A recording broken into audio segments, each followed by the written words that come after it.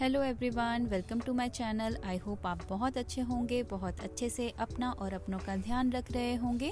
आज है संडे और संडे को स्पेशल बनाने के लिए मैं यहाँ बना रही हूँ मेरे all time favourite chole bhature and winter special gajar halwa.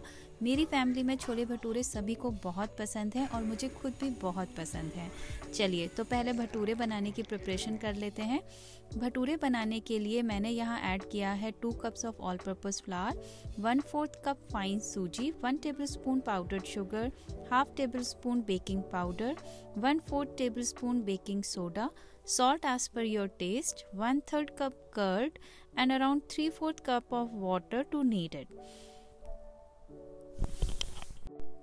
अब इसके टॉप सरफेस पे थोड़ा सा ऑयल लगाकर इसे डैम्प क्लोथ से कवर कर कर रख देंगे for around one hour chole boil होने रख देते हैं। छोलों को मैंने ओवरनाइट सोख होने रख दिया था। ये अच्छे से फूल गए हैं। छोले बॉईल करने के लिए हमें एक पोटली बनानी होती है। मैं यहाँ एक टी बॉल स्ट्रेनर यूज़ कर रही हूँ। इसमें ऐड करूँगी वन टेबल स्पून चाय पत्ती एक बड़ी इलायची, दो से तीन लौंग, एक छोटा सा स्टार एनिस। इसमें मैं ज़्यादा मसाले ऐड नहीं करती हूँ, क्योंकि मैं होममेड मसाला यूज़ करूँगी, उसमें भी ये सभी मसाले यूज़ होते हैं। चलिए, जब तक छोले बॉईल होते हैं, हम हलवा बनाना स्टार्ट कर देते हैं। दीज आर अराउंड वन के जी ऑफ़ कैरेट्स कैरेट्स को मैंने अच्छे से वॉश कर कर ग्रेट कर लिया है। अब हलवा बनाने के लिए मैं यूज़ कर रही हूँ एक हैवी बॉटम कढ़ाई। इसमें ऐड करेंगे one tablespoon of ghee और कैरेट्स को इस घी में अच्छे से भून लेंगे। इस तरह से घी में भूनने से कैरेट सॉफ्ट हो जाते हैं और इनका जो एक रॉ फ्लेवर होता है, वो भी निकल जाता है। तो इस तरह से दो तीन मिनट के लिए आप घी में इसको भून लें। और उसके बाद इसमें ऐड करेंगे वन कप ऑफ़ मिल्क। अब इसे लो फ्लेम पर कवर करके टेन मिनट्स के लिए कुक होने रख देंगे। पैरेलल कुकिंग चल रही है किचन में। एक तरफ़ छोले बॉईल हो रहे हैं, एक तरफ़ हलवा बन रहा है और यहाँ मैं बना रही हूँ छोले मसाला। छोले मसाला बनाने के लिए मैंने सभी खड़े मसालों को लाइक जीरा, साबुत धनिया, लौंग, आठ दस काली मिर्च, दालचीनी, सूखी लाल मिर्च, एक स्टार एनीस और मेस को ड्राई रोस्ट कर लिया है। लास्ट में इसमें मैंने ऐड की है कसूरी मेथी। आपके पास अनार दाना हो तो ज़रूर ऐड कीजिएगा। बहुत अच्छा टेस्ट आता है। मेरे पास नहीं था, इसलिए मैंने नहीं ऐड किया है। इनको अच्छे से ठंडा होने के बाद ग्राइंड कर लेंगे। छोले अच्छे से बॉईल हो गए हैं। चार से पाँच विसल में बॉईल हो जाते हैं। ज़्यादा बॉईल हो जाएँगे तो फ्राई करते टाइम एकदम हलवे जैसा टेक्सचर हो जाएगा।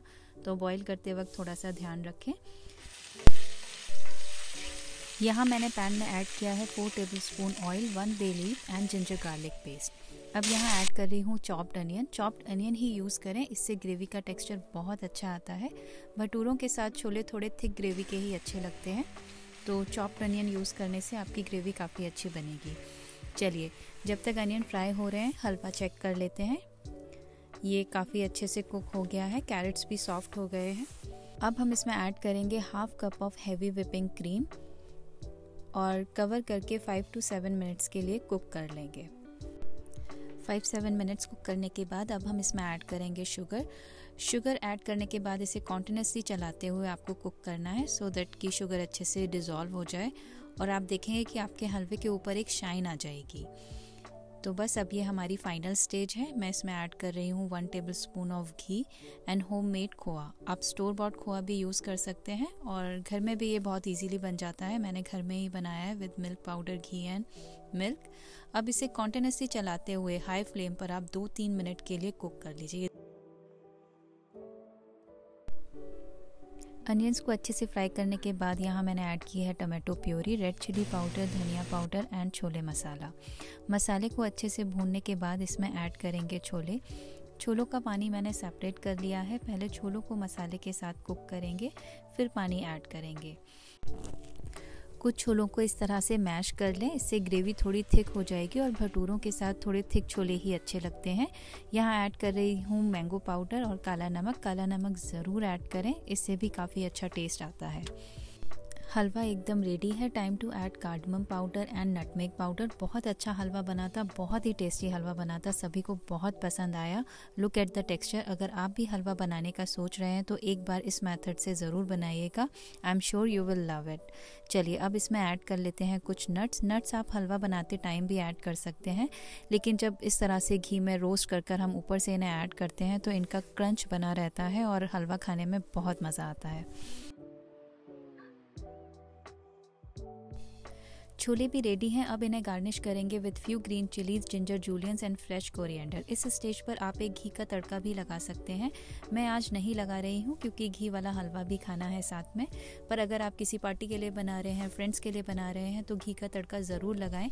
उससे आपके छोलों का taste as well as look दोनों ही बहुत एनहांस हो जाएगा। चलिए, अब सब कुछ रेडी है। फटाफट से भटूरे फ्राई कर लेते हैं।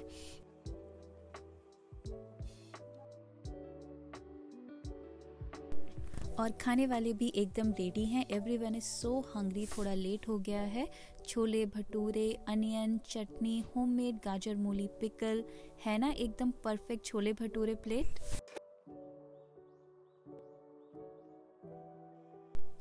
my husband was like कि मैं तो पहले ये टेम्पटिंग हलवा ट्राई करूँगा दैन छोले भटूरे।